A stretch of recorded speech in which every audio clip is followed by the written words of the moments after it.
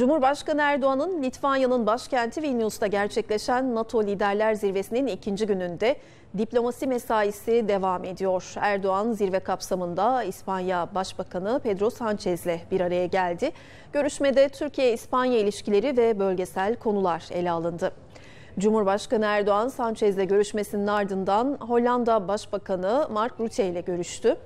Daha sonra ise Yunanistan Başbakanı Mitsotakis'le bir araya geldi. Şu sıralarda görüşme devam ediyor.